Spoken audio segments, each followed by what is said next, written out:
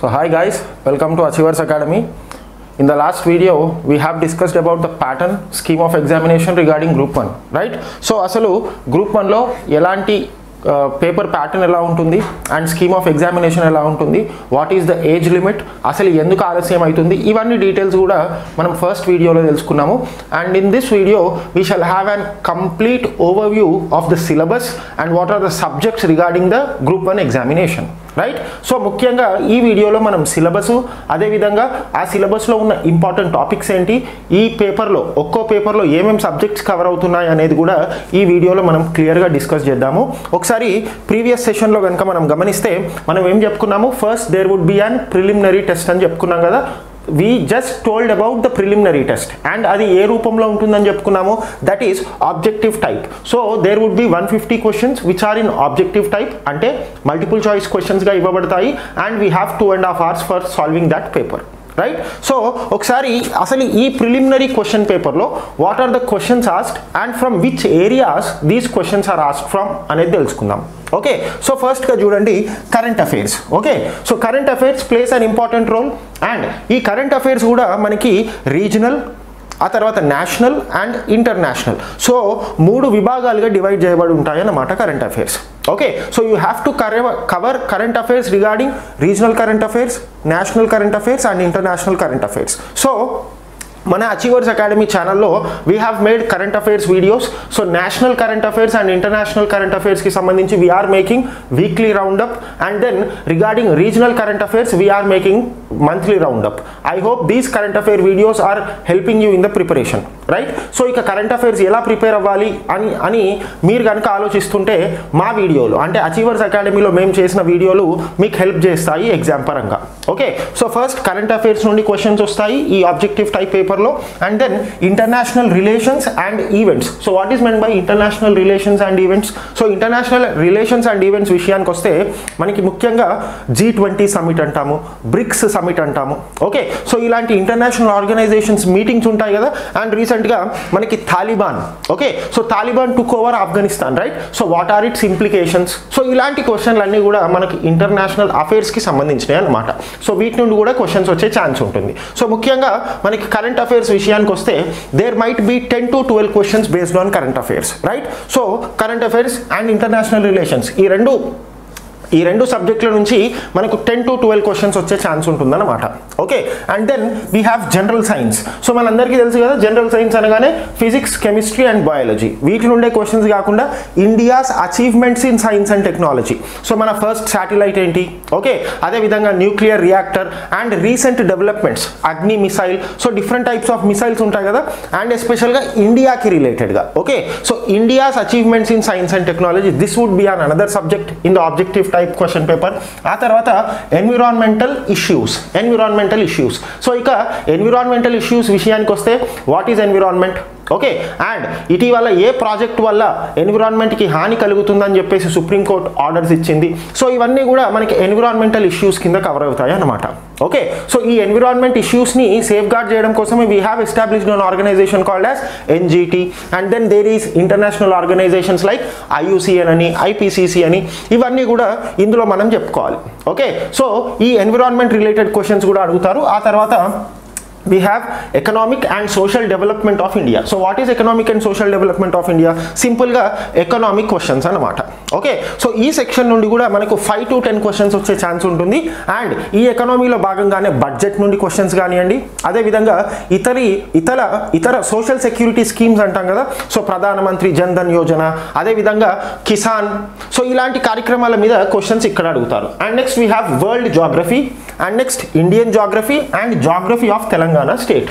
Okay? So ఈ section ముఖ్యంగా జాగ్రఫీని డీల్ చేసే సెక్షన్ అన్నమాట. సో ఇక్కడ నుండి కూడా we we can face ten to twelve questions okay? So world Indian and geography of Telangana state and మళ్ళీ మనం మెయిన్స్ ప్రాస్పెక్టివ్లో కూడా చదవాల్సిన అవసరం ఉంటుంది. సో ఇది ఓన్లీ ప్రిలిమినరీ ఎగ్జామినేషన్కి సంబంధించి అన్నమాట okay and then we have history and cultural heritage of India so what is history and cultural heritage so history అనగానే మనకు తెలుసు ancient medieval and modern apart from this we should also study culture so what is culture అంటే ఇండియాలో ఉన్న different types of dance forms different types of music forms different types of festivals so ఇవన్నీ కూడా they are a part of India's culture right so ఈ culture నుండి కూడా మనకు questions వస్తాయి. అండ్ ముఖ్యంగా హిస్టరీ అండ్ కల్చర్ నుండి దాదాపు మనకు ఫిఫ్టీన్ టు ఎయిటీన్ క్వశ్చన్స్ వచ్చే ఛాన్స్ ఉంటుంది. Okay so we can have fifteen to eighteen questions from that ఆ తర్వాత Indian constitution and polity so one of the hot subjects right so Indian constitution and polity ఇక్కడ నుండి కూడా మనకు దాదాపు fifteen questions వచ్చే ఛాన్స్ ఉంటుందన్నమాట. ఓకే ఆ తర్వాత governance and public policy in India governance and public policy in India అంటే ఇందులో ముఖ్యంగా మనకి గవర్నమెంట్ ఏజెన్సీస్ కాన్స్టిట్యూషనల్ ఏజెన్సీస్ ఏవైతే ఉన్నాయో సపోజ్ సిబిఐ ఉంది. ఆ తర్వాత సెంట్రల్ విజిలెన్స్ కమిషన్ ఉంది. సో ఇవన్నీ కూడా ఏంటి? Special agencies of government right so వీటికి సంబంధించిన క్వశ్చన్స్ కూడా వస్తాయి. And then policies of Telangana state so policies of Telangana state రీసెంట్గా ఇనాగ్రేట్ చేసిన దళిత బంధు స్కీమ్ కానివ్వండి మిషన్ కాకతీయ కానివ్వండి మిషన్ భగీరథ కానివ్వండి. So Telangana schemes and policies మీద కూడా క్వశ్చన్స్ అడుగుతారు ప్రిలిమినరీ పేపర్లో ఆ తర్వాత society culture heritage arts and literature of Telangana okay so తెలంగాణకు సంబంధించి కల్చర్ ఆర్ట్స్ అదేవిధంగా లిటరేచర్ తెలంగాణలో ఉన్న గొప్ప గొప్ప కవులు. ఓకే అదేవిధంగా తెలంగాణలో ఉన్న డిఫరెంట్ టైప్స్ ఆఫ్ పండుగలు జాతరలు ఇవన్నీ కూడా ఈ సెక్షన్లో అడుగుతారు. And then we have social exclusion rights issues such as gender caste tribe disability etcetera okay so ముఖ్యంగా సోషల్ ఇష్యూస్లో ఉమెన్స్ ఫేస్ చేసే ప్రాబ్లం ఆ తర్వాత చిల్డ్రన్ ఫేస్ చేసే ప్రాబ్లం అండ్ దెన్ ట్రైబ్స్ అదేవిధంగా షెడ్యూల్ క్యాస్ట్ వీళ్ళు చేసి ఫేస్ చేసే ప్రాబ్లమ్స్ అదేవిధంగా వీళ్ళకు సంబంధించి గవర్నమెంట్ ఏదైనా స్కీమ్స్ లాంచ్ చేసిందా? ఆ స్కీమ్స్కి ఆ స్కీమ్స్కి సంబంధించిన క్వశ్చన్స్ ఇక్కడ అడుగుతారన్నమాట. ఓకే ఆ తర్వాత లాస్ట్ టాపిక్ ఏముంటుంది అంటే మనకి logical reasoning data interpretation and mental ability so ఓవరాల్గా థర్టీన్ టాపిక్స్ ఉంటాయి మనకు ప్రిలిమినరీ టెస్ట్లో okay so from these thirteen topics you will be having questions in the preliminary examination which is held for one fifty marks in the time span of two and half hours okay so ఇప్పుడు నువ్వు ఈ preliminary ఎగ్జామినేషన్లో qualify అయ్యావు so నిన్న మనం only outline చెప్పుకున్నాం కదా preliminary examination objective టైప్లో ఉంటుంది వన్ ఫిఫ్టీ క్వశ్చన్స్ అడుగుతారని. సో ఆ వన్ ఫిఫ్టీ క్వశ్చన్స్ ఏ టాపిక్స్ నుండి అడుగుతారనేది ఈ వీడియోలో మనం డిస్కస్ చేస్తున్నాం. అవునా? So one fifty questions comes from these topics right now when you qualify preliminary examination then there would be another qualifying test so ఈ టెస్టే మనం ఏమని చెప్పుకున్నాము? That is English okay so ఒకసారి నెక్స్ట్ ఇంగ్లీష్ చూద్దాము. So ఇప్పుడు mains ఎగ్జామ్లోకి మనం ఎంటర్ అయ్యాం. ప్రిలిమ్స్ క్వాలిఫై అయిన తర్వాత ఇప్పుడు మనకి మెయిన్స్ ఎగ్జామినేషన్ ఉంటుంది. ఓకే సో ఈ మెయిన్స్ ఎగ్జామినేషన్లో ఫస్ట్ పేపర్ ఏంటి మనకి? జనరల్ ఇంగ్లీష్ పేపర్ ఓకే మరి ఇది ఏ స్థాయిలో ఉంటుంది? అంటే హిందూలో ఆర్టికల్స్ రాసేంత స్థాయి ఇంగ్లీష్ మనకు రావాల్సిన అవసరం ఉంటుందా అంటే no okay so tenth standard English examiner ఏం టెస్ట్ చేస్తాడు? పదో తరగతి అభ్యర్థులకు లేదా పదో తరగతి విద్యార్థులు చదివే ఇంగ్లీష్ పుస్తకాలు ఏవైతే ఉన్నాయో ఆ పుస్తకాల్లో ఉన్న నాలెడ్జ్ అభ్యర్థి దగ్గర ఉందా? అండ్ ముఖ్యంగా when you face an interview can you communicate in English okay so ఇతను ఇంటర్వ్యూలో ఇంగ్లీష్లో కమ్యూనికేట్ చేయగలుగుతాడా లేడా సో ఇవన్నీ ఆస్పెక్ట్స్ని దృష్టిలో పెట్టుకొని ఇంగ్లీష్ ఎగ్జామ్ని క్వాలిఫైయింగ్ ఇన్ నేచర్గా పెట్టడం జరిగిందన్నమాట. Okay so we can see many aspirants Telugu medium నుండి వచ్చిన వాళ్ళు కూడా గ్రూప్ వన్కి ప్రిపేర్ అవుతూ ఉండొచ్చు. సో వీళ్ళకి ఇంగ్లీష్ కొంచెం కష్టం అవుతుంది. అందుకే దీన్ని ఏం చేశారు? జస్ట్ క్వాలిఫైయింగ్ పేపర్గా చేశారు. And the marks obtain in this paper are not counted in merit right so ఇది నూట యాభై మార్కులకి ఈ ఇంగ్లీష్ క్వాలిఫైయింగ్ ఎగ్జామ్ అనేది కండక్ట్ చేయడం జరుగుతుంది. Okay and then what are the topics in which the exam is conducted so English ఎగ్జామ్ని మరి ఏ టాపిక్స్లో కండక్ట్ చేస్తారు? అంటే ముఖ్యంగా we have eight topics so ఈ ఎయిట్ టాపిక్స్ నుండే ఇంగ్లీష్ ఎగ్జామ్ అనేది కండక్ట్ చేయడం జరుగుతుంది అనమాట ఓకే సో ఒకటి spotting errors spelling punctuation so spotting errors అంటే ఏంటి? మనకు స్టేట్మెంట్ ఇస్తారు. అక్కడ ఆ స్టేట్మెంట్లో where is the error find out the error అని చెప్తారు. దీన్నే మనం స్పాట్ ద ఎర్రర్ అని అంటాం. ఆ తర్వాత fill in the blanks okay so fill in the blanks particular ప్రిపోజిషన్తోని కంజక్షన్స్తోని మనము ఆ ఫిల్ ఫిల్ ఇన్ ద బ్లాంక్స్ని చేయాల్సిన అవసరం ఉంటుందన్నమాట. ఆ తర్వాత number three rewriting sentences so active voice passive voice ఉంటాయి కదా. సో ఈ యాక్టివ్ వాయిస్లో ప్యాసివ్ వాయిసెస్లో సెంటెన్సెస్ని ఎలా రాయాలి? ఆ తర్వాత మనకి ఒక స్టేట్మెంట్ని జంబుల్డ్గా ఇస్తారనమాట సో మొత్తం కలిపి ఇచ్చేస్తారు. దాన్ని మనం ఒక మీనింగ్ఫుల్ సెంటెన్స్గా మార్చాలి. దీన్నే మనం రీరైటింగ్ సెంటెన్సెస్ అని అంటాం. ఆ తర్వాత direct reported speech okay direct and indirect speech ఆ తర్వాత మనకి jumbled sentences jumbled sentence sentences so jumbled sentences అంటే ఏంటి? సో ఒక పారాగ్రాఫ్ ఇచ్చేసి అందులో ఉన్న సెంటెన్సెస్ని ఫోర్ త్రీ టూ వన్ మోడల్లో ఇస్తారన్నమాట. సో దీన్ని మనం వన్ టూ త్రీ ఫోర్ మోడల్లో ఏర్పాటు చేయాలి. దీన్నే మనం జంబుల్డ్ సెంటెన్సెస్ అంటాం. ఆ తర్వాత comprehension so what is comprehension అంటే యాంటోనిమ్స్ సినోనిమ్స్ ఇవన్నీ కూడా కాంప్రహెన్షన్ కింద వస్తాయి. అదేవిధంగా మనకు కాంప్రహెన్షన్లో భాగంగా ఒక పారాగ్రాఫ్ ఇస్తారు. ఆ పారాగ్రాఫ్ మనం చదివిన తర్వాత there would be some questions you have to answer those questions from that paragraph okay so ఆ పారాగ్రాఫ్ని మనం చదివాం కాబట్టి ఆ పారాగ్రాఫ్లో మనకి ఏమర్థమైందో కింద ఇచ్చిన క్వశ్చన్స్లో ఆ పారాగ్రాఫ్ నుండి ఆన్సర్స్ రాయాలి. దీన్ని మనం ఏమంటాము? కాంప్రహెన్షన్ అంటాం. ఆ తర్వాత precise writing so precise writing అంటే ఒక పెద్ద పారాగ్రాఫ్ ఇస్తారు. దానిని ప్రిసైజ్గా చిన్నగా రాయాలన్నమాట. దీన్ని మనము ప్రిసైజ్ రైటింగ్ అంటాం. ఆ తర్వాత ఎక్స్పాన్షన్ సో ఎక్స్పాన్షన్ అంటే ఒక చిన్న పారాగ్రాఫ్ ఇస్తారు. దీన్ని నువ్వు ఎక్స్పాండ్ చేసి ఒక మీనింగ్ఫుల్ పారాగ్రాఫ్గా రాయాలి. And then we have letter writing okay so letter writing is also very important so ఒకసారి నువ్వు గ్రూప్ వన్ ఉద్యోగం సాధించిన తర్వాత నీ హయ్యర్ అఫీషియల్స్కి లెటర్ ఎలా రాయాలి? అదేవిధంగా ఒక న్యూస్ పేపర్ ఎడిటర్కి లెటర్ ఎలా రాయాలి? సో ఇవన్నీ కూడా లెటర్ రైటింగ్లో భాగంగా ఉంటాయి. ఓకే సో మెయిన్గా English examination is only qualifying in nature and ఏ స్టాండర్డ్లో ఉంటుంది ఇంగ్లీష్ ఎగ్జామినేషన్ అంటే టెన్త్ స్టాండర్డ్లో ఉంటుంది. సో టెన్త్ క్లాస్ పిల్లల ఎగ్జామినేషన్ ఏదైతే స్టాండర్డ్లో ఉంటుందో అదే స్టాండర్డ్లో ఉంటుంది. దీని గురించి మనం భయపడాల్సిన అవసరం లేదన్నమాట. Okay so you have to remember this after qualifying in English exam so ఇప్పుడు ఇంగ్లీష్ ఎగ్జామ్ క్వాలిఫై అయిన తర్వాత మనకి ఎలా తెలుస్తుంది? అంటే ఒక్కసారి నువ్వు prelims qualify అయ్యావంటే you have to write all the seven papers right? ఎక్స్క్లూ including English. ఒక్కసారి మనం ప్రిలిమ్స్ క్వాలిఫై అయ్యామంటే మనకి ఇంగ్లీష్ ఎగ్జామ్ ఉంటుంది ఆ తర్వాత మిగతా ఆరు పేపర్లు కూడా మనం రాయాల్సిన అవసరం ఉంటుందన్నమాట. సో ముందే నువ్వు ఇంగ్లీష్ డిస్క్వాలిఫై అయ్యావు అని చెప్పరు. Right so at the last mains result వచ్చినప్పుడు నువ్వు ఇంగ్లీష్లో క్వాలిఫై అయ్యావు. అంటే నీ ఫర్దర్ పేపర్స్ని వాల్యుయేట్ చేస్తారు లేదంటే లేదు. ఓకే సో ఈ పాయింట్ని కూడా గుర్తుపెట్టుకోండి. ఇంగ్లీష్ క్వాలిఫైయింగ్ మాత్రమే దీని యొక్క మార్కులు మెరిట్లోకి తీసుకోరు. Right now coming on to the actual crux of the video okay so ఇప్పుడు మనం సిక్స్ పేపర్స్ ఉంటాయి అనుకున్నాం కదా. సో ఈ సిక్స్ పేపర్స్లో each paper carries one fifty marks right so మొత్తం సిక్స్ పేపర్స్ యొక్క మార్క్స్ ఎంత అవుతుంది అప్పుడు? నైన్ హండ్రెడ్ మార్క్స్ అవుతుంది. అవునా? సో ఇప్పుడు ఈ నైన్ హండ్రెడ్ మార్క్స్లో ఈచ్ పేపర్ వన్ ఫిఫ్టీ కాబట్టి ఇక్కడ కూడా మళ్ళీ మనకు సబ్ డివిజన్స్ ఉన్నాయన్నమాట. Each paper is divided into three sections okay so మూడు సెక్షన్లుగా డివైడ్ చేస్తున్నారు. దాన్ని మనం మన కన్వీనియన్స్ కోసం ఒక సెక్షన్కి ఫిఫ్టీ ఒక సెక్షన్కి ఫిఫ్టీ ఇంకో సెక్షన్కి ఫిఫ్టీ సో ఈ విధంగా we can divide the paper అన్నమాట. ఓకే సో ఒకసారి చూడండి పేపర్ వన్ ఏమని చెప్తున్నారు ఇక్కడ? That is general essay so what is paper one paper one is general essay so this general essay paper mainly ఇక్కడ మనం ఏం చేయాలి? Essays రాయాలన్నమాట. Okay so you have to write essays so పెద్ద పెద్ద పారాగ్రాఫ్లు అంటాం కదా సో ఈ ఎస్ఏస్ని మనం రాయాల్సిన అవసరం ఉంటుంది. సో ఈ ఎస్ఏలు ఎంత స్థాయిలో రాయాలి ఎన్ని వర్డ్స్లో రాయాలి అంటే minimum five hundred to thousand వర్డ్స్లో ఒక్క ఎస్ఏని రాయాల్సిన అవసరం ఉంటుంది మనం. ఓకే అండ్ ఈ ఎస్ఎస్ కూడా మనకి ఏ కాన్సెప్ట్స్ నుండి లేదా ఏ కంటెంట్ నుండి మనకి క్వశ్చన్స్ అడుగుతారు? అంటే contemporary social issues and social problems so సొసైటీలో ప్రస్తుతం ఉన్న సామాజిక ప్రాబ్లమ్స్ ఏవైతే ఉన్నాయో వాటి మీద క్వశ్చన్స్ వస్తాయి. And then issues of economic growth and justice so ఆర్థిక అభివృద్ధి పైన క్వశ్చన్స్ వస్తాయి. And then dynamics of Indian politics so what is the scenario of Indian politics so Indian పాలిటిక్స్ని ఎలా మనం చేంజ్ చేయొచ్చు? వీటి మీద క్వశ్చన్స్ వస్తాయి. And then historical and cultural heritage of India so రీసెంట్గా Ramappa was nominated as an Ramappa was selected as an cultural UNESCO world heritage site right so ఇప్పుడు ఈ రామప్ప పైన క్వశ్చన్ రావచ్చు. ఎస్ఏ రాయమని ఓకే సో ఈ రామప్ప వల్ల వరంగల్ లేదా తెలంగాణ ఏ విధంగా డెవలప్ అవుతుంది అనేది మనకి ఎస్ఏగా అడగొచ్చు. సో దాన్ని మనం ఒక కరెక్ట్ ఫార్మాట్లో రాయాల్సిన అవసరం ఉంటుందన్నమాట. And then developments in science and technology so what are the recent developments in science and technology అనేది కూడా ఎస్ఐల రూపంలో అడుగుతారు. దానికి సంబంధించి కూడా మనం ఆన్సర్ రాయాల్సిన అవసరం ఉంటుంది.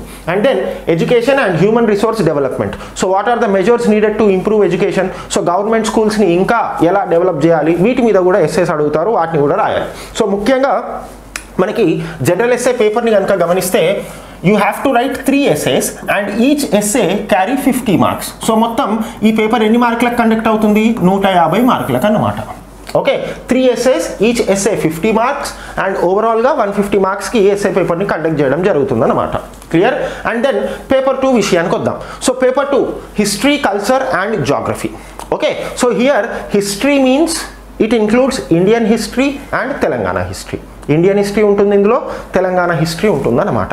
ఓకే సో ఇండియన్ హిస్టరీలో మళ్ళీ మనం సబ్ టాపిక్స్ కనుక చూసుకుంటే ancient ancient Indian history medieval Indian history and modern Indian history so ముఖ్యంగా మనం ఎక్కువగా ఫోకస్ చేయాల్సింది the highly focused parties modern Indian history అన్నమాట.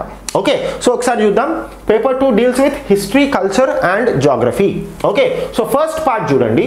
History and culture of India with special reference to modern period that is from seventeen fifty seven to nineteen forty seven okay so ఈ one hundred and ninety years history మీద మనం ఎక్కువగా focus చేయాలి. So ఈ seventeen fifty seven నుండి nineteen forty సెవెన్ని we call it as modern Indian history right so you have to prepare Indian history but you have to give your special attention to modern Indian history right so second point చూద్దాం. History and cultural heritage of Telangana so యాభై మార్కులు Indian హిస్టరీకి సంబంధించిన questions వస్తుంటే ఇంకో యాభై మార్కులు దేనికి సంబంధించి వస్తాయి? History and culture of Telangana పైన వస్తాయి. History and culture of Telangana పైన. సో దీనికి సంబంధించిన డీటెయిల్డ్ అనాలిసిస్ కూడా మనం చూద్దాము. అండ్ నెక్స్ట్ థర్డ్ పాయింట్ కనుక చూసుకుంటే geography of India and Telangana. So Telangana and India జాగ్రఫీకి సంబంధించి కూడా ఇందులో క్వశ్చన్స్ వస్తాయన్నమాట. సో ఇక్కడ వరల్డ్ జాగ్రఫీ లేదు. Mains ప్రాస్పెక్టివ్లో there is no world geography మెయిన్స్లో భాగంగా మనం చదవాల్సింది ఏంటి? Indian geography and Telangana geography మాత్రమే.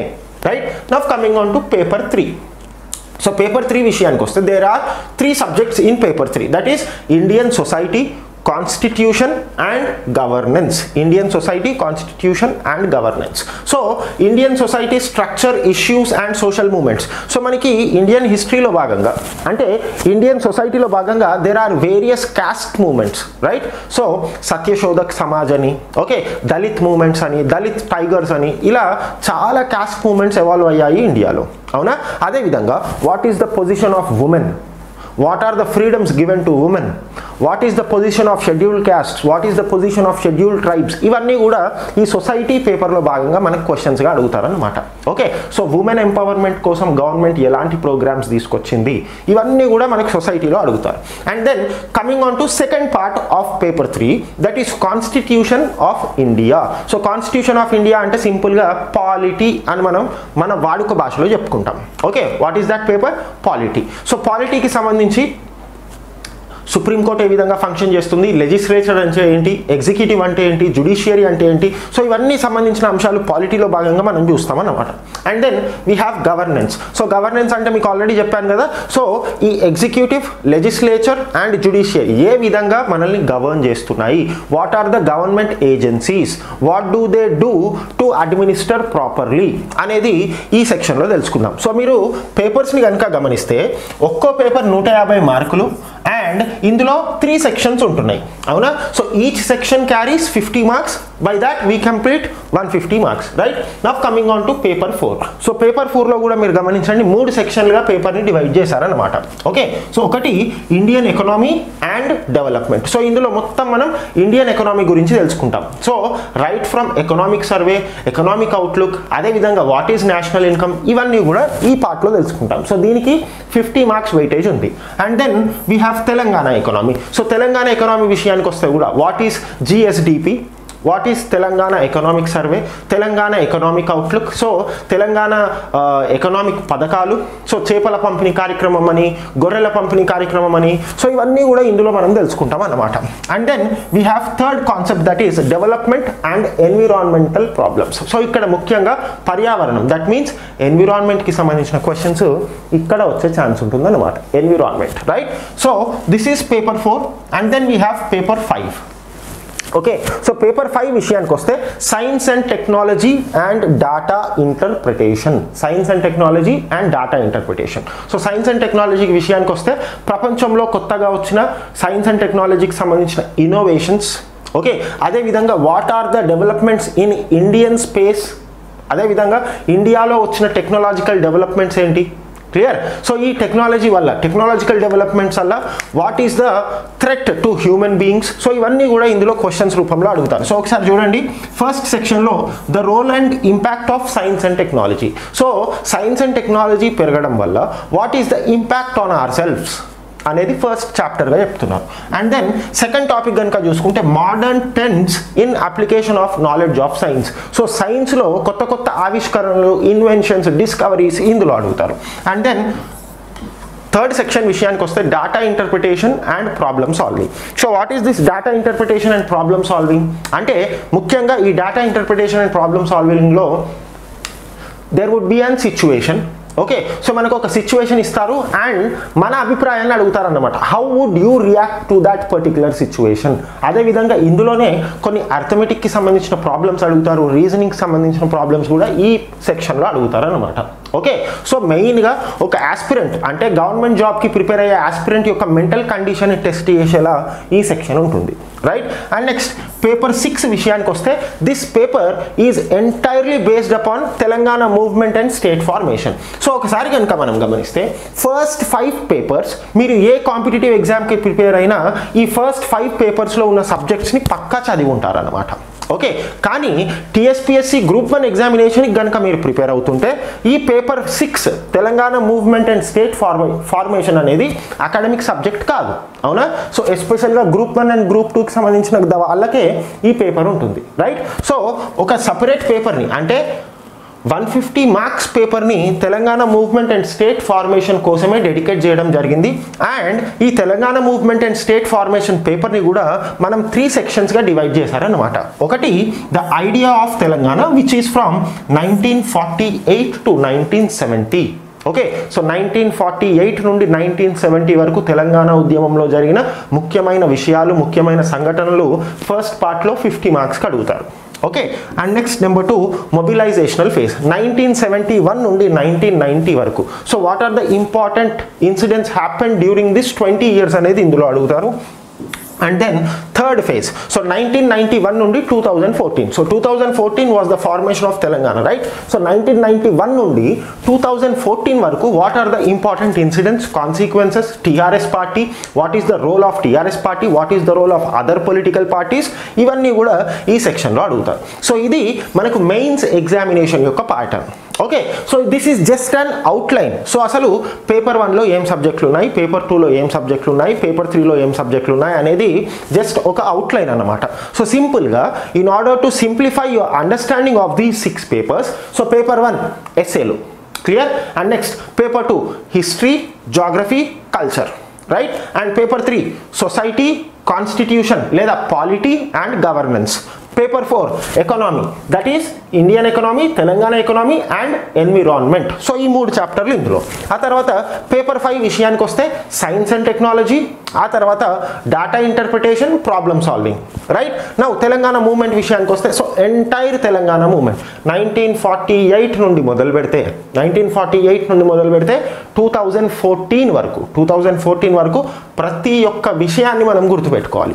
ఓకే సో ఈ తెలంగాణ మూవ్మెంట్ అనే పేపర్లో కేవలం సెవెంటీ ఇయర్స్ హిస్టరీ అంతే మనం చదివేది. Okay so only seventy years హిస్టరీని మనం స్టడీ చేస్తున్నాం కాబట్టి each and every point is very important regarding paper six okay and ఈ పేపర్లో కనుక మనం పర్ఫెక్ట్గా ఉంటే వన్ ఫిఫ్టీ మార్క్స్ ఎక్కడికి వెళ్ళవు రైట్ సో మల్టిపుల్ సోర్సెస్ చదవాల్సిన అవసరం లేదు తెలంగాణ మూమెంట్కి అవునా? అదేవిధంగా it is only a history of period of seventy years right so seventy ఇయర్స్కి సంబంధించిన హిస్టరీని మాత్రమే మనము ఈ మూమెంట్లో చదువుతున్నాం కాబట్టి ఈ పేపర్ పైన ఎక్కువ ఫోకస్ చేయాల్సిన అవసరం ఉంటుంది because this would turn out to be a highest scoring paper ఏదది?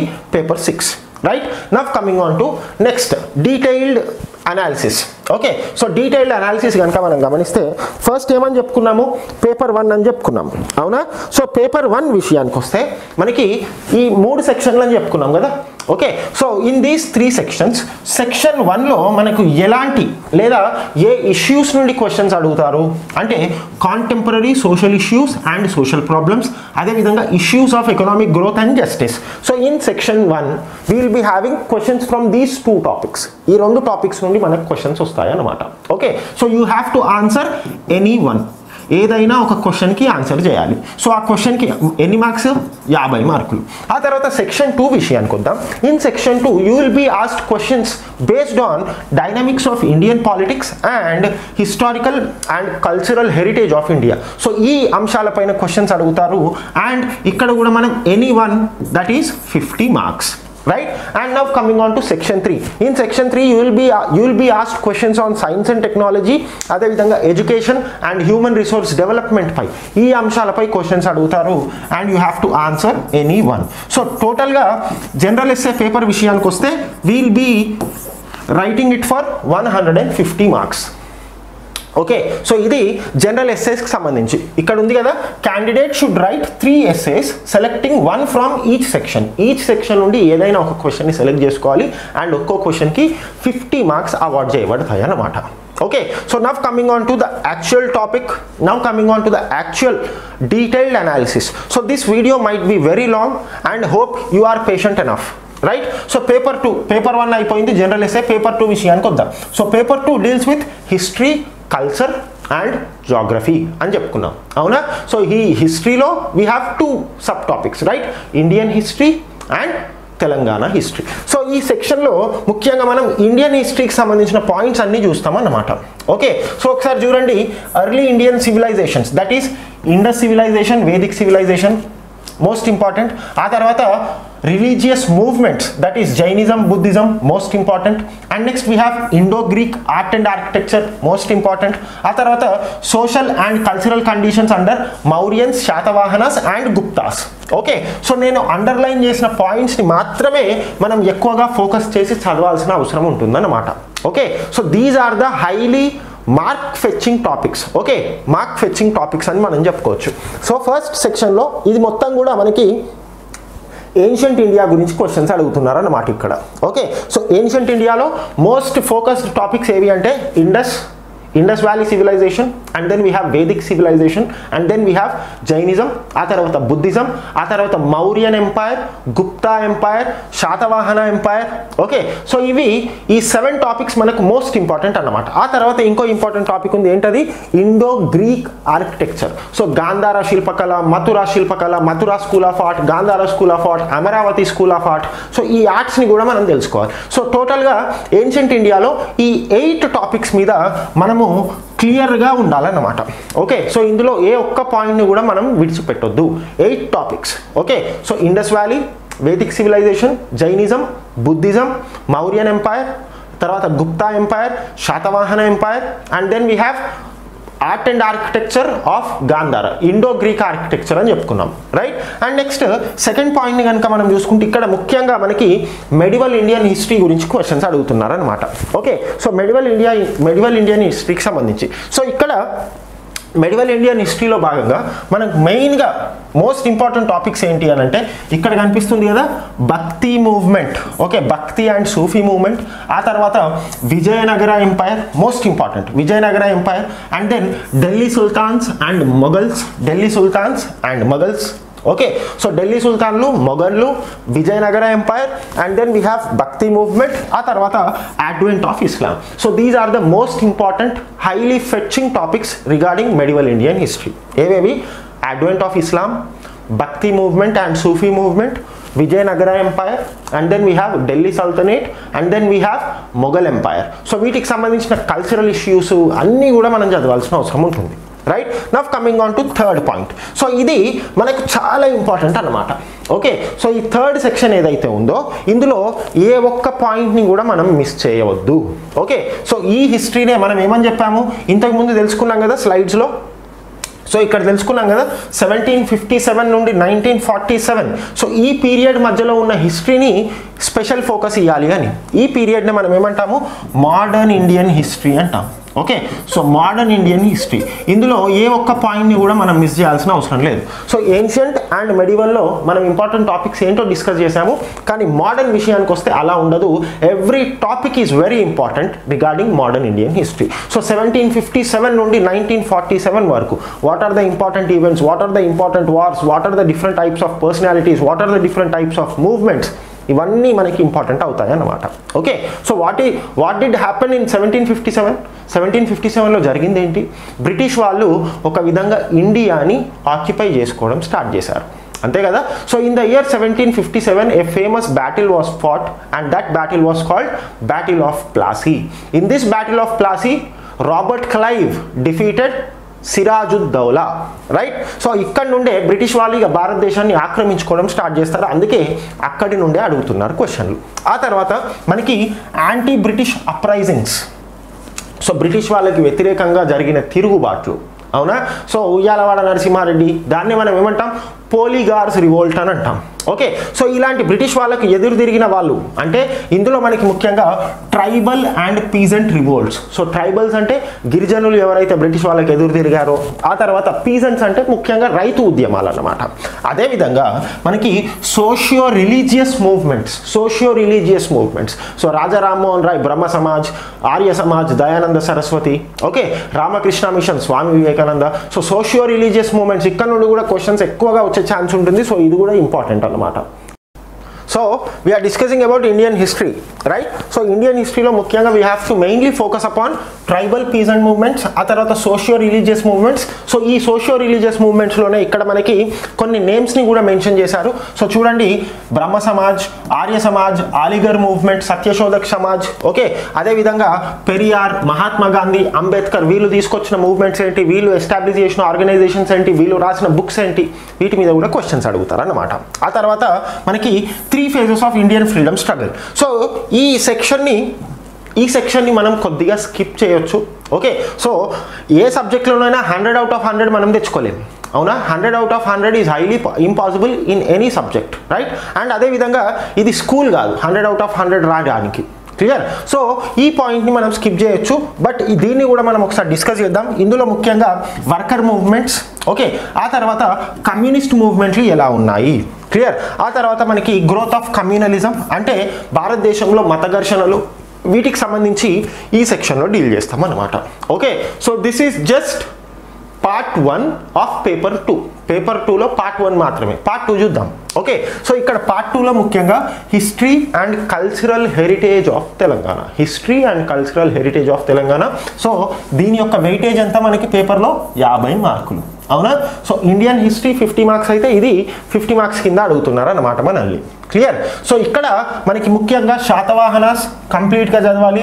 Ikshvakus most important Vishnukundins most important right so ఈ మూడు వంశాలకు సంబంధించిన ప్రతి ఒక్క అంశాన్ని మనం క్లియర్గా స్పష్టంగా చదవాలన్నమాట. క్లియర్ అండ్ దెన్ ఇక మెడివల్ తెలంగాణ విషయానికి వద్దాం. సో మెడివల్ తెలంగాణ విషయానికి వస్తే Kakatiyas most most most most important okay so Kakatiyas most important ఆ తర్వాత Velama kingdom. So Velama kingdom గురించి కూడా మనం తెలుసుకోవాల్సిన అవసరం ఉంటుంది. అండ్ అనదర్ మోస్ట్ ఇంపార్టెంట్ విషయం కుతుబ్ షాహీస్. సో ఇది కూడా కుతుబ్ షాహీస్ కూడా మనకి మోస్ట్ ఇంపార్టెంట్ అవుతుంది అనమాట సో ఇది ముఖ్యంగా మనము మెడివల్ తెలంగాణ హిస్టరీలో భాగంగా తెలుసుకుంటాం. ఏన్షియంట్ తెలంగాణ హిస్టరీలో ఎక్కువగా ఫోకస్ చేయాల వం- వంశాలు ఏవి అంటే శాతవాహనస్ ఇక్ష్వాకు విష్ణుకుండిన్స్ అయితే మెడివల్ తెలంగాణ హిస్టరీలో Kakatiyas and Qutb Shahis top most priority ఇవ్వాలి దీనికి. ఆ తర్వాత వెలమ కింగ్డమ్కి ఇవ్వాలన్నమాట ఓకే ఆ తర్వాత మనకి Asaf Jahi dynasty. So Asaf Jahi dynasty లేదా వీళ్ళని మనం ఏమంటున్నాం? నిజాంలు అని అంటున్నాం. సో ఈ నిజాంలకు సంబంధించిన హిస్టరీ మొత్తం మోస్ట్ ఇంపార్టెంట్ మోస్ట్ ఇంపార్టెంట్ గుర్తుపెట్టుకోండి. Okay so Salar Jung reforms another most important topic so ఇక్కడ ఏవైతే అసఫ్ జాహీ డైనాస్టిక్ సంబంధించి ఏవైతే పాయింట్స్ ఇక్కడ మెన్షన్ చేశారో ప్రతి ఒక్క పాయింట్ని క్షుణ్ణంగా క్లియర్గా మనం చదవాల్సిన అవసరం ఉంటుందన్నమాట. ఓకే ఆ తర్వాత ఇంకా చూద్దాము socio cultural awakening in Telangana. Okay so మనకి చాలా మూవ్మెంట్స్ వచ్చాయి తెలంగాణలో. అవునా? సో దళిత్ మూవ్మెంట్స్ కానివ్వండి ట్రైబల్ మూవ్మెంట్స్ కానివ్వండి రామ్జీ గోండ్ కొమరం భీమ్ భాగ్యరెడ్డి వర్మ చాకలి ఐలమ్మ. సో ఇలాంటి మూవ్మెంట్స్ అన్నీ కూడా ఇక్కడ మనకు అడుగుతారు. ఓకే సో ఇక్కడ ఆల్రెడీ ఉంది కదా role of Bhagya Reddy Varma. So this is also very important గుర్తుపెట్టుకోండి. Clear and then we have peoples movement against the Telangana ప్రజా పోరాటాలు. ఓకే సో ప్రజా పోరాటాల్లో భాగంగా మనకు వచ్చేటి ఏంటి? ఆదివాసీ రివోల్ట్స్ సో ముఖ్యంగా in the in the sphere of Adivasi revolts we find Ramji Gond Komaram Bheem okay ఆ తర్వాత చాకలి ఐలమ్మ పీజెంట్స్ ఆర్మ్డ్ స్ట్రగుల్లో భాగంగా చాకలి ఐలమ్మ దొడ్డి కొమరయ్య వీళ్ళందరి గురించి కూడా మనం ఈ పార్ట్లో తెలుసుకుంటాం. Okay so Telangana history most important గుర్తుపెట్టుకోండి. అండ్ ఎప్పుడైతే టీఎస్పిఎస్సి ఫామ్ అయిందో okay when TSPSC was formed its chairman its former chairman Ghanta Chakrapani ఏం చెప్పారు అని అంటే ముఖ్యంగా మనకి ఈ టీఎస్పిఎస్సి ఎగ్జామినేషన్స్ ఏవైతే ఉన్నాయో సిక్స్టీ పర్సెంట్ సిక్స్టీ పర్సెంట్ ఇండియాకి సంబంధించిన అంశాలపై క్వశ్చన్స్ వస్తాయి. మిగతా ఫార్టీ పర్సెంట్ తెలంగాణ రిలేటెడ్ వాటి మీద క్వశ్చన్స్ వస్తాయి అని చెప్పడం జరిగింది. ఓకే సో కేవలం సిక్స్టీ పర్సెంట్లో హండ్రెడ్ అవుట్ ఆఫ్ హండ్రెడ్ నువ్వు తెచ్చుకోలేవు. అవునా? సో అందుకే ఇండియన్కి సంబంధించిన అంశాలను అదేవిధంగా you have to also focus on Telangana related items also okay so అక్కడ ఒక ఫార్టీ పర్సెంట్ తెలంగాణలో ఒక థర్టీ పర్సెంట్ ఓవరాల్గా సెవెంటీ పర్సెంట్ కంప్లీట్ ప్రిపరేషన్ ఇది ఉండాలి. Okay so hundred out of hundred ఎవరు తెచ్చుకోలేరు? That is highly impossible so above seventy percent must be our target so ముఖ్యంగా concentrate on Indian affairs okay so Indian affairs నుండి మనకి అంటే Indian history Indian economy వీటి మీద నుండి ఎక్కువగా questions వస్తున్నాయి. సిక్స్టీ పర్సెంట్ క్వశ్చన్స్ అక్కడ నుండి అడుగుతామని చైర్మన్ కూడా చెప్పాడు కాబట్టి అక్కడ ఒక ఫార్టీ పర్సెంట్ మార్క్స్ తెచ్చుకునేలా అండ్ తెలంగాణ విషయానికి వస్తే ఇక్కడ ఒక థర్టీ పర్సెంట్ మార్క్స్ తెచ్చుకునేలా చదవాలి. ఓవరాల్గా సెవెంటీ పర్సెంట్తో నీకు ఉద్యోగం పక్కా అవుతుంది. Right and then geography of India and Telangana okay geography of India and Telangana ఇది మనకి పేపర్ టూలో థర్డ్ సెక్షన్ పేపర్ టూలో third section so geography of India and తెలంగాణలో ఇండియాలో పండే పంటలు ఏంటి what are the different types of soils in India what is the location of India and same తెలంగాణలో కూడా. సో తెలంగాణ ఎక్కడుంది? What is the location of Telangana తెలంగాణలో ఉన్న ఇంపార్టెంట్ హిల్స్ ఏంటి? ఓకే ఇండియాలో ఉన్న ఇంపార్టెంట్ మౌంటైన్స్ ఏంటి హిల్స్ ఏంటి what are the physical features of Telangana? అసలు ఇక్కడ రివర్ సిస్టమ్ ఎలా ఉంది? ఓకే సో తెలంగాణలో ఎన్ని రివర్స్ వెళ్తున్నాయి? ఆ తర్వాత what are the important rivers in India where does they originate so ఇవన్నీ కూడా మనకి ఇక్కడ క్వశ్చన్స్ అడుగుతారు. Apart from that we should also focus upon food crops okay so food crops ముఖ్యం మనకి. ఆ తర్వాత agro climatic regions agro climatic regions అంటే ఏంటి? ట్రాన్స్పోర్టేషన్ ఇది కూడా ఇంకో ఇంపార్టెంట్ టాపిక్ సో జాగ్రఫీ చాలా చిన్న సబ్జెక్టే కాబట్టి దాన్ని ఒక టూ త్రీ టైమ్స్ రివైజ్ చేసుకుంటే గుర్తుండిపోతుంది. So by this we come to an end for paper two so paper టూకి సంబంధించిన ఇంపార్టెంట్ టాపిక్స్ ఏంటి? ఇవన్నీ కూడా మనం ఇక్కడ డిస్కస్ చేస్తాం. Now coming on to paper three so ఇది కూడా పేపర్ టూలో జాగ్రఫీలో భాగంగా. అదేవిధంగా మనకి మినరల్స్ మినరల్స్ ఎనర్జీ రిసోర్సెస్ తెలంగాణలో ఎలాంటి మినరల్స్ కనిపిస్తున్నాయి? ఓకే ఎక్కువగా ఏ మినరల్స్ దొరుకుతాయి? ఇండియాలో ఏ మినరల్స్ దొరుకుతాయి? అదేవిధంగా what are the important hydro power projects in Telangana as well as India thermal power project so Telangana is blessed with Singareni right so ఇలా important power ప్రాజెక్ట్స్ని కూడా మనం ఇక్కడ డిస్కస్ చేస్తామన్నమాట. Okay and next coming on to paper three okay so paper three విషయానికి వద్దాం. So paper త్రీని కూడా మనం ఏం చేసాం మూడు సెక్షన్గా డి డివైడ్ చేశారు. So Indian society constitution and governance right so Indian society విషయానికి వస్తే ముఖ్యంగా అసలు ఇండియన్ సొసైటీలో ఫ్యామిలీ ఓకే ఆ తర్వాత కిన్షిప్ క్లియర్ మ్యారేజ్ వీటన్నిటి గురించి కూడా మనం తెలుసుకోవాలి. ముఖ్యంగా ఇది మనకి సోషియాలజీ సబ్జెక్ట్లో భాగంగా ఉంటుందన్నమాట ఓకే సో సోషియాలజీకి సంబంధించిన బేసిక్స్ మనకు తెలిసి ఉండాలి okay so what is secularism what is communalism what is corruption స్త్రీలపై జరిగే హింస చైల్డ్ లేబర్ ఇవన్నీ కూడా సొసైటీలో భాగంగా ప్రతిరోజు మన కళ్ళకు కనిపిస్తున్నాయి కదా. సో వీటికి సంబంధించి గవర్నమెంట్ ఎలాంటి చట్టాలు తీసుకొని వచ్చింది? What are the steps taken by government okay and what are the agencies suppose మహిళలపై హింసని అరికట్టడం కోసం there is an commission called as national commission for women right అదేవిధంగా national commission for protection of child rights ఉంది. So ఇలాంటి కమిషన్ల గురించి వాటి యొక్క చైర్మన్ల గురించి కూడా మనం చదవాల్సిన అవసరం ఉంటుందన్నమాట. Okay and also in this society part we should also study about the different types of tribes in india. Okay so ఇండియాలో డిఫరెంట్ టైప్స్ ఆఫ్ ట్రైబ్స్ ఎవరెవరు ఉన్నారు? వాళ్ళకి సంబంధించి ఎలాంటి చట్టాలు తీసుకొని వచ్చింది గవర్నమెంట్ సో ఇలాంటి క్వశ్చన్స్ కూడా అడుగుతారు. సో ఇది paper two subsection one that is Indian society ఆ తర్వాత మనకి కాన్స్టిట్యూషన్ ఆఫ్ ఇండియా సో ఇది ఇంకో పార్ట్ ఇక్కడ నుండి కూడా మనకి ఫిఫ్టీ మార్క్స్ అడిగే ఛాన్స్ ఉంటుంది. సో కాన్స్టిట్యూషన్ ఆఫ్ ఇండియా అంటే ఏం లేదు. సింపుల్గా గుర్తుపెట్టుకోండి. పాలిటీ అని గుర్తుపెట్టుకోవాలి. ఓకే పాలిటీ అని గుర్తుపెట్టుకోవాల్సిన అవసరం ఉంటుంది అనమాట సో ఇక పాలిటీలో polity is a very vast subject right so మరి ఈ పాలిటీలో అవన్నీ చదవాలా? అంటే ఇక్కడ మనకి ఆల్రెడీ ఫిల్టర్ చేసి మెయిన్గా ఎక్కువగా మనం ఫోకస్ చేయాల్సిన టాపిక్స్ ఇక్కడ ఇచ్చారనమాట ఇందులో కూడా మనం ఒకసారి కనుక ఫిల్టర్ చేసుకుంటే సో అసలు పాలిటీలో ముఖ్యంగా ఇండియన్ కాన్స్టిట్యూషన్ ఎలా ఎవాల్వ్ అయింది? Okay role of drafting committee so drafting కమిటీయే కదా కాన్స్టిట్యూషన్ని ప్రిపేర్ చేసింది and the chairman of the drafting committee was doctor Babasaheb Ambedkar right so drafting committee యొక్క రోల్ ఏంటి? ఆ తర్వాత మనకి ముఖ్యంగా మోస్ట్ ఇంపార్టెంట్ ఏంటి అని అంటే ప్రియాంబుల్ ఓకే దీన్నే ప్రావేశిక అని తెలుగులో అంటాం ప్రియాంబుల్ మోస్ట్ ఇంపార్టెంట్ రైట్ ఆ తర్వాత fundamental rights so fundamental rights మనకి చాలా ఇంపార్టెంట్ ఒక్క పాయింట్ని కూడా వదిలిపెట్టొద్దు. Clear and then we have directive principles of state policy DPSP అంటాం.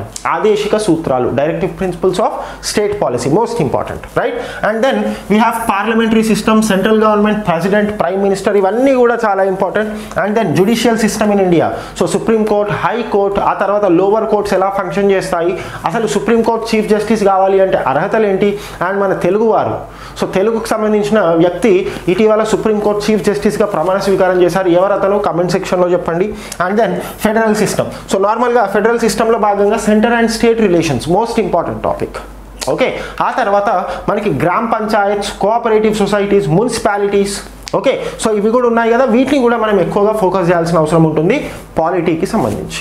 Right now coming on to next important point that is governance okay so మీకు అందరికీ చెప్పాను గవర్నెన్స్ అంటే ఏంటి? పరిపాలన. ఓకే మరి గవర్నమెంట్ ఏ విధంగా పరిపాలిస్తుంది? తమ యొక్క ఏజెన్సీస్ ద్వారా. అవునా?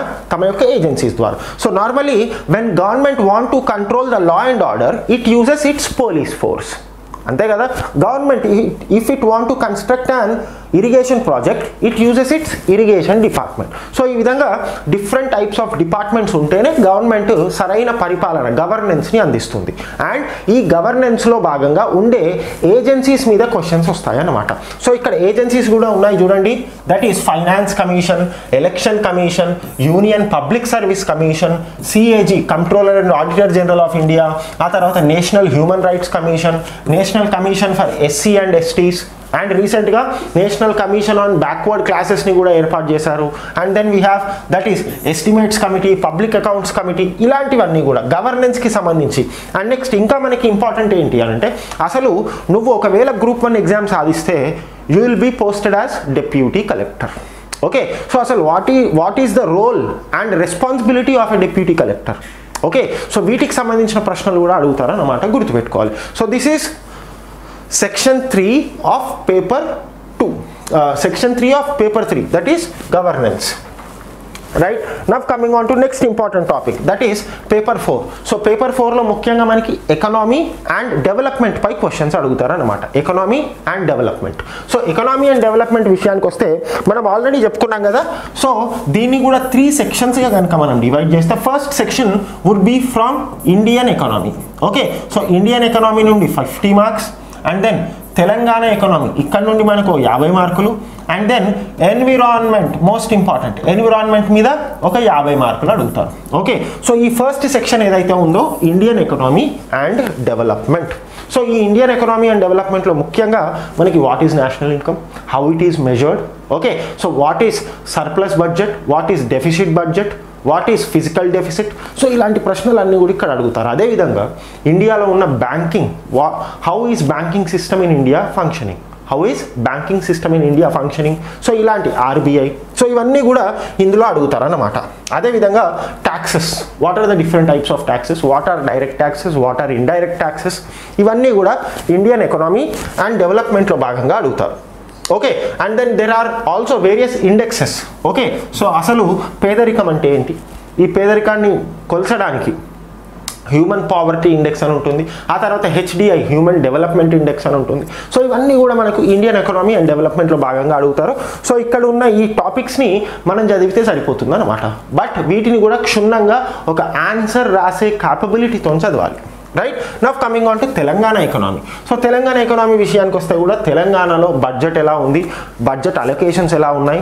What is the expenditure what is the revenue what are the important policies of Telangana state what are the important schemes of Telangana state okay what are what is the power capacity power generation capacity of Telangana state clear so అదేవిధంగా మనకి agriculture agriculture ఎలా ఉంది? Okay industrial sector ఎలా ఉంది? Industrial sector ఎలా ఉంది తెలంగాణలో and then మనకి ఈ జమీందారీ ముఖ్యంగా land reforms most important okay భూ సంస్కరణలు అంటాం. ఓకే సో ల్యాండ్ రిఫార్మ్స్ ద్వారా ఏ ఏ చట్టాలు వచ్చాయి what are the important acts related to land reforms ఇవన్నీ కూడా తెలంగాణ ఎకనామీలో భాగంగా మనం డీల్ చేస్తామన్నమాట. Clear now coming on to another important section of this paper that is development and environmental problems okay so development and environmental problems అంటే ఏంటి? ముఖ్యంగా ఈ డెవలప్మెంట్ అండ్ ఎన్విరాన్మెంట్ ప్రాబ్లమ్స్లో భాగంగా we should also study about environment okay so అసలు environment అంటే ఏంటి? What are the factors which are deteriorating the environment okay so what are the different types of pollutions what are the different types of agencies which are established to control this pollution so national green tribunal అని చెప్పాను. అవునా? ఆ తర్వాత central pollution control board okay so Telangana state విషయానికి వస్తే Telangana state pollution control board. So ఇలాంటివన్నీ కూడా ఎన్విరాన్మెంట్కి సంబంధించిన అంశాలన్నీ కూడా ఇక్కడ తెలుసుకుంటాం అన్నమాట. ఓకే అదేవిధంగా బయోడైవర్సిటీ అంటే ఏంటి? బయోడైవర్సిటీ అంటే ఏంటి? Climate change global warming. Okay what are the international agencies so have I have already told you right IUCN IPCC UNFCCC so ఇవన్నీ కూడా మనం ఇందులో తెలుసుకోవాల్సిన అవసరం ఉంటుంది. క్లియర్ సో ఇది పేపర్ ఫోర్కి సంబంధించి three sections now coming on to paper five so ఈ పేపర్ ఫైవ్లో ముఖ్యంగా science and technology and data interpretation okay so దీన్ని కూడా మనం త్రీ సెక్షన్స్గా డివైడ్ చేసుకుంటే ఇక్కడ మనకి ఒక ఇంపార్టెంట్ పాయింట్ ఏంటి అని అంటే the role of the role and impact of science and technology okay so ఇక్కడ ఇంకో పాయింట్ కూడా యాడ్ చేసుకోండి. Science and technology and data interpretation అనుకున్నాం కదా ఇందులో ఇంకో సెక్షన్ని కూడా మనం యాడ్ చేసుకుందాము. That is disaster management okay disaster management అనే సెక్షన్ని కూడా మనం యాడ్ చేసుకుందాం. ఓకే సో డిజాస్టర్ మేనేజ్మెంట్ విపత్తు నిర్వహణ అంటారు అనమాట ఓకే సో ఇందులో ముఖ్యంగా సైన్స్ అండ్ టెక్నాలజీకి సంబంధించి ఇండియా యొక్క ప్రోగ్రెస్ ఎలా ఉంది సైన్స్ అండ్ టెక్నాలజీలో ఓకే సో ఇప్పటి వరకు ఇండియా చేసిన అద్భుతమైన ఆవిష్కరణలు స్పేస్ టెక్నాలజీ ఎలా ఉంది? Okay atomic technology nuclear technology వీటికి సంబంధించిన క్వశ్చన్స్. అదేవిధంగా మనకి లేటెస్ట్గా కొత్తగా ఎమర్జ్ అవుతున్న వరల్డ్ వైడ్గా ఎమర్జ్ అవుతున్న latest science and technology innovations. Okay అదేవిధంగా స్పేస్ టెక్నాలజీలో ఎలాంటి ఇన్నోవేషన్స్ వస్తున్నాయి? Defence technology most important. So defence టెక్నాలజీలో what are the important? So ఇటీవల ఐఎన్ఎస్ విక్రాంత్ ఐఎన్ఎస్ విక్రాంత్ని భారతదేశం తయారు చేసుకుంది. అవునా? So what is the speciality of INS Vikrant? So this is the first indigenously made indigenously made submarine okay so భారతదేశం స్వదేశీ పరిజ్ఞానంతో తయారు చేసుకున్న ఎయిర్ క్రాఫ్ట్ క్యారియర్ సబ్మరైన్ అన్నమాట. Okay so craft carrier submarine ఇది ఇంతకు ముందు వరకు కొన్ని దేశాలు మాత్రమే ఈ ఎయిర్ క్రాఫ్ట్ క్యారియర్ సబ్మరైన్ని క్యారీ చేశాయి.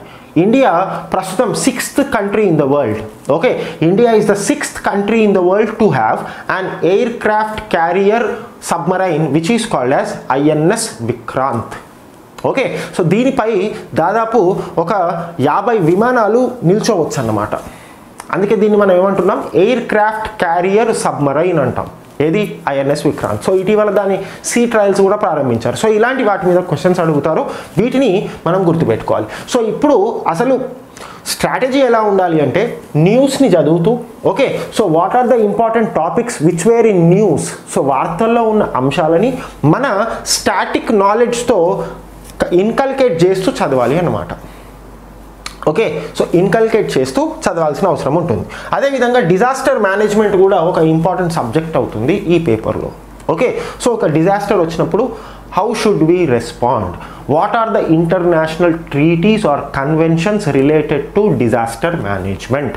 Okay so దేశంలో ఏదైనా విపత్తు డిజాస్టర్ వస్తే దానికి సంబంధించి మనకి ఎన్డిఎంఏ ఉంది national disaster management authority. So what is the role of NDMA and ఈ ఎన్డిఎంఏకి ఒక సపరేట్ ఫోర్స్ కూడా ఉంటుంది దీన్ని మనం ఎన్డిఆర్ఎఫ్ అంటాం national disaster response force. So అసలు ఎన్డిఎంఏని ఎప్పుడు ఎస్టాబ్లిష్ చేశారు? మనందరికీ తెలుసు టూ థౌజండ్ ఫోర్లో there was a huge tsunami right అసలు సునామీ అంటే ఏంటి? ఇవి కూడా క్వశ్చన్స్గా అడుగుతారు. సో ఈ సునామీలో చాలామంది నష్టపోయారు చాలామంది చనిపోయారు. దాని తర్వాతే మనకి టూ థౌజండ్ ఫైవ్లో నేషనల్ డిజాస్టర్ మేనేజ్మెంట్ యాక్ట్లో భాగంగా నేషనల్ డిజాస్టర్ మేనేజ్మెంట్ అథారిటీని ఏర్పాటు చేశారు. సో ఇలాంటి విషయాలు మనం తెలుసుకోవాలి. క్లియర్ ఆ తర్వాత modern trends in application of knowledge of science. Okay so సైన్స్లో what are the modern trends? So ఇప్పుడు మనకి మామూలుగా అగ్రికల్చర్ విషయానికి వస్తే జెనెటికలీ మాడిఫైడ్ క్రాప్స్ అని అంటాం. అవునా? జెనెటికల్లీ మాడిఫైడ్ క్రాప్స్ అదేవిధంగా అగ్రికల్చర్లో వచ్చిన కొత్త కొత్త టెక్నాలజీలు కొత్త కొత్త టెక్నాలజీల గురించి కూడా మనం తెలుసుకోవాలి. Okay? And then food biotechnology ఫుడ్లో కూడా. సో మనకి FSSAI food security and standards authority of India so ఇటీవల మ్యాగీని బ్యాన్ చేశారు కదా ఒక టూ త్రీ ఇయర్స్ ముందు మ్యాగీని బ్యాన్ చేశారు. క్లియర్ అందులో మీథైల్ ఐసోసైనైట్ ఏదో కలుస్తుందని. సో ఇలాంటి రీసెంట్గా అంటే న్యూస్లో నిలిచిన అంశాలను మనం దృష్టిలో పెట్టుకుంటూ మనం ప్రిపేర్ అవ్వాలి. ఓకే సో సెకండ్ సెక్షన్ దేని గురించి డీల్ చేస్తుంది? Modern trends in application of knowledge of science and third section చూద్దాము that is data interpretation and problem solving so ఇక్కడ ముఖ్యంగా మనకి స్టాటిస్టికల్ డేటా ఇస్తారు దాని మీద క్వశ్చన్స్ అడుగుతారు. ఆ తర్వాత graphs charts bar graphs line graphs ఆ తర్వాత పై చార్ట్స్ సో ఇవన్నీ ఇస్తారు. వాటి నుండి మనం కొన్ని క్యాలిక్యులేషన్స్ చేసి అక్కడ ఉన్న క్వశ్చన్స్కి ఆన్సర్స్ చెప్పాలి. Clear and next we have quantitative aptitude so quantitative యాప్టిట్యూడ్లో ముఖ్యంగా number sequences series averages number system ratio and proportion profit and loss ఆ తర్వాత టైమ్ అండ్ వర్క్ ఆ తర్వాత time speed distance simple interest analytical and critical reasoning so ఈ టాపిక్స్ని మాత్రమే prepare కావాలి if you are preparing for group one okay so ప్రాబబిలిటీలు పర్మిటేషన్లు కాంబినేషన్లు ఇవన్నీ అవసరం లేదు ఇక్కడ. ఓకే సో ఇక్కడ ఏవైతే టాపిక్స్ ఇచ్చారో వాటిని మాత్రమే మనం క్షుణ్ణంగా ప్రిపేర్ అవ్వాలి. Clear and then decision making and problem solving so what is decision making and problem solving మీకు ఇంతకుముందు చెప్పాను కదా you will be set in to an situation okay you will be set in to an situation suppose suppose me father లంచం తీసుకుంటున్నాడు అనుకోండి.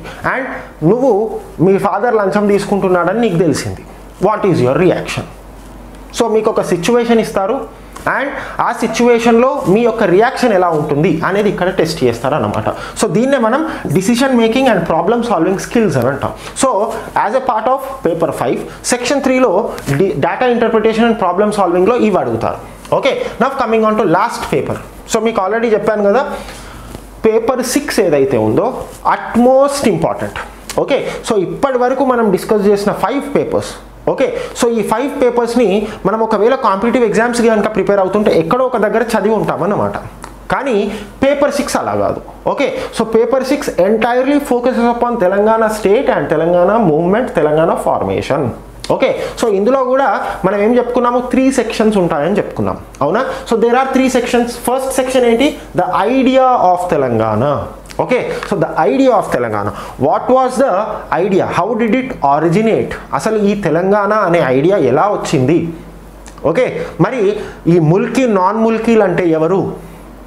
ఈ Mulki non Mulki problem కేవలం నిజామ్స్ కాలంలోనే ఎమర్జ్ అయిందా? దానికన్నా ముందు కూడా ఉందా? Clear so non Mulki movement అంటే ఏంటి? ముల్కీ మూవ్మెంట్ అంటే ఏంటి? జయాంధ్ర ఉద్యమం ఏంటి? జై తెలంగాణ ఉద్యమం ఏంటి? ఇవన్నీ మనము the idea of Telangana nineteen forty eight to nineteen సెవెంటీలో భాగంగా ఫస్ట్ సెక్షన్ తెలుసుకుంటాం. సో ఇక్కడ చాలా ఉన్నాయి కదా. ఇవన్నీ కూడా మనకి మోస్ట్ ఇంపార్టెంట్ ఇక్కడ ఏ విషయాన్ని కూడా మనం ఇగ్నోర్ చేసే ఛాన్స్ లేదన్నమాట. Okay so you should not ignore anything from these topics so ఇక్కడ మనం ఇంపార్టెన్స్ ఏంటో చెప్పలేము. అన్నీ చదవాలి.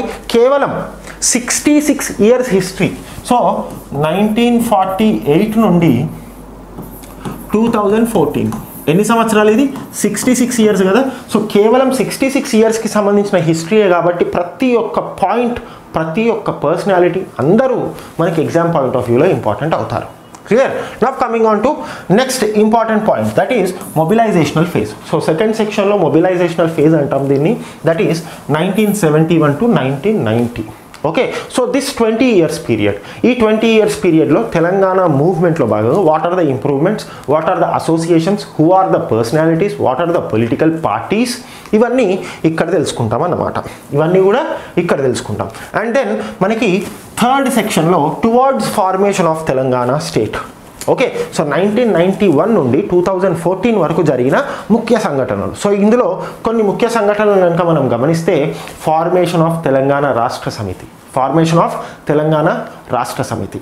ఆ తర్వాత nineteen ninety eight general elections so ఇక్కడే బీజేపీ ఒక ఓటు రెండు రాష్ట్రాలు అని కాకినాడ సభలో తీర్మానం చేసింది.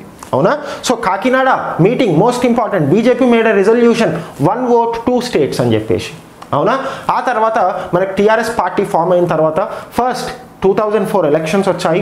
And in this two thousand four elections TRS party had an alliance with Congress and then later two thousand nine elections ఈ మధ్యలో Pranab Mukherjee committee so in the year two thousand nine September second YS Rajasekhara Reddy చనిపోతారు. So YS Rajasekhara Reddy చనిపోయిన తర్వాత మనకు అదే two thousand nine అక్టోబర్లో there is a judgement from supreme court which is declaring that Hyderabad as free zone so హైదరాబాద్ని free జోన్గా declare చేస్తూ supreme court judgement judgement ఇచ్చింది. ఆ తర్వాత Telangana movement went on its to peak right so ఈ free judgement లేదా ఈ free zone judgment వల్లే కేసీఆర్ నిరాహార దీక్ష చేశాడు.